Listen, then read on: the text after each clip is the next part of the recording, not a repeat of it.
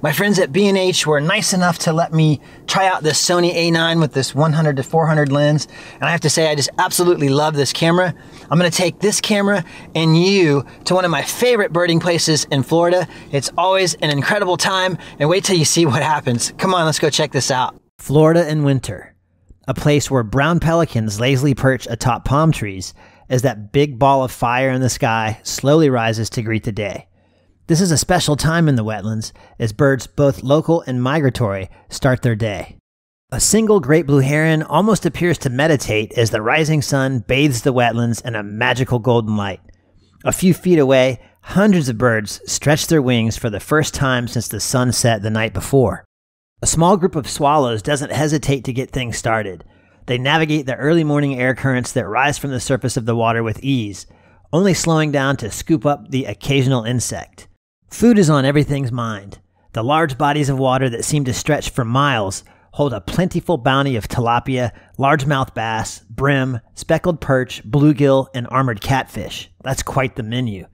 These fish have been reproducing, growing, and surging in population for the past 10 months. Their large numbers are a very important food source for all the local creatures who call this area home. But some birds prefer to grab a quick bite to eat on land.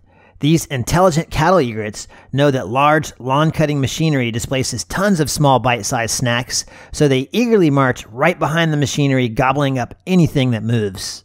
Back at the edge of the water, an American bittern, a bird whose amazing natural camouflage almost makes it invisible to the untrained eye, proceeds to make extremely calculated movements to blend in with the vegetation.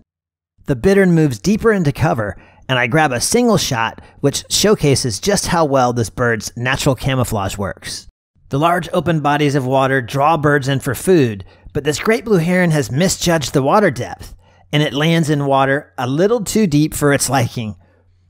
A small group of cormorants have joined the party, and they have apparently drawn the attention of the great blue heron who comes flying in to inspect the local buffet.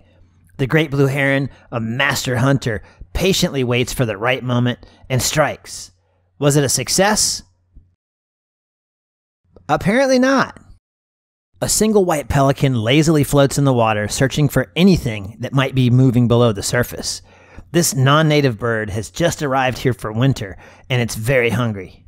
Our master hunter, the great blue heron, tries once again and doesn't like what it finds. It seems that our white pelican has been joined by a few friends, and our master hunter, well, it still seems to be having trouble making the catch.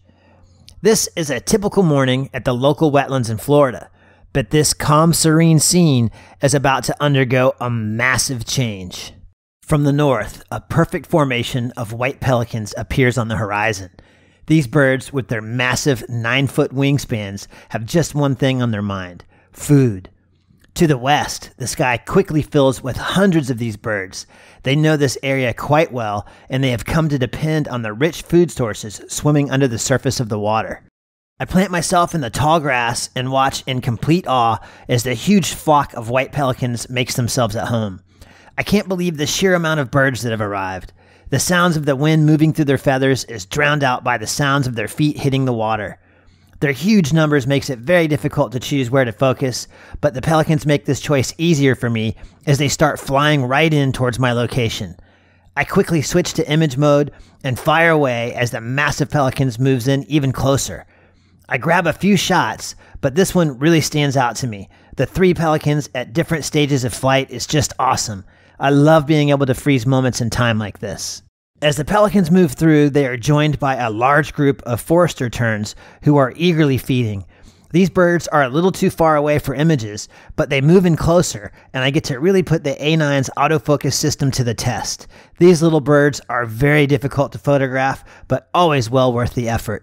As you can see, the A9's autofocus system was up to the task, and it helped me capture these awesome moments as these fast little birds emerged from the water you get these amazing shots of the birds, all that water and the droplets and the splash. When the angle of light is just right, that splash seems to capture the light and freeze it, making the splash look like a glass sculpture full of color. And in this last shot, you can clearly see that these birds' quick plunges into the water help them capture tiny little minnows. Absolutely amazing. Back at the pelican pileup, our hungry pelicans are busy herding all the fish into one small area of the lake.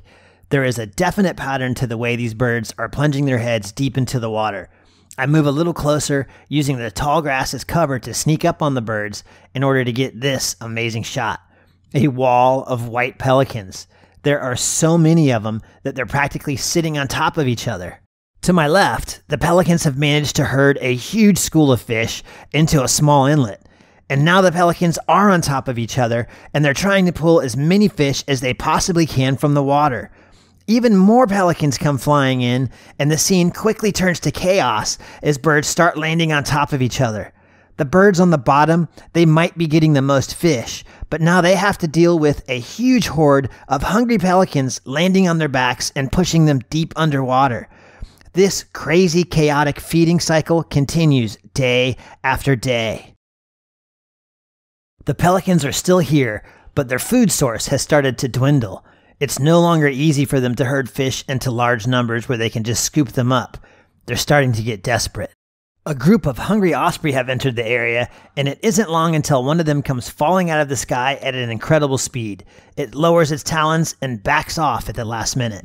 Another osprey spots something down in the water below, and it too comes falling out of the sky. It uses its tail and wings to make micro adjustments to its descent, a balancing act of wind and speed. It drops its talons and backs off at the last second. Things are getting a little tense as a small group of coots runs across the surface of the water. One of the osprey makes yet another attempt, this time from much higher in the sky. It silently spirals out of the sky, keeping its eyes on something far, far below.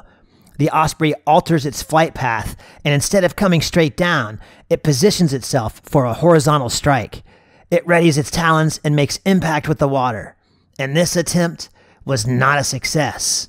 The pelicans are starting to get anxious. The osprey crashing into the water has definitely gotten their attention. An osprey makes yet another attempt from high in the sky, pulling its wings back for added speed before crashing into the water below. This time, the osprey's dive was a success. One bird's success has given the others some confidence, and this bird is more than eager to try its luck with the fish below. It ever so graciously glides before making that final decision to dive. And with extreme precision, it uses its wings to not only steer, but to also control its speed. At the last millisecond, and with extreme accuracy, the osprey extends its razor sharp talons and comes crashing into the water. This massive splash sends the pelicans into a frenzy. They know what's happening, and they want that osprey's fish. Our osprey has managed to capture a huge fish and it struggles getting it out of the water. In this dramatic slow motion video, you can clearly see the desperation in this bird's posture as it almost appears to be walking on water. It wants that fish, but it knows the pelicans are coming, and it chooses to drop the fish and fly away without any type of altercation. While all of this was happening, another osprey makes a catch, and it too struggles with the fish. But this osprey, it's determined to keep its catch no matter what. The pelicans see the osprey with the fish and they decide to give chase. In a futile attempt to ambush the poor osprey, a pelican comes flying in from each side, but the osprey has speed and agility on its side. It barely escapes with its fish and comes flying right at me. I grab a few images as the osprey flies over my head, proudly clutching its catch in its talons. What an amazing turn of events. I've never seen pelicans get aggressive like this, but that's what happens when food gets scarce. Of course, I have to finish the video with my favorite bird of all, the osprey. Always doing some just absolutely amazing stuff. I don't think I've ever seen pelicans give chase like that. It was amazing. And I really, really liked this camera, the Sony A9 with the 100 to 400 lens. It's just so fast, so effective. It's absolutely incredible. I'm going to be uh, purchasing this and adding it to my kit. So you're going to see a lot more of it in the future. My Nikon gear is not going anywhere. I think this will be a good complement to all of that. Um, what did you think of the video? Did you have a, a, favorite part? And as always, don't forget to click the thumbs up, comment, let me know what you thought, share the video, that's really helpful. And if you haven't subscribed yet, go ahead and do that because I'll have a lot of cool stuff planned for the future. And until next time, I'll see you later.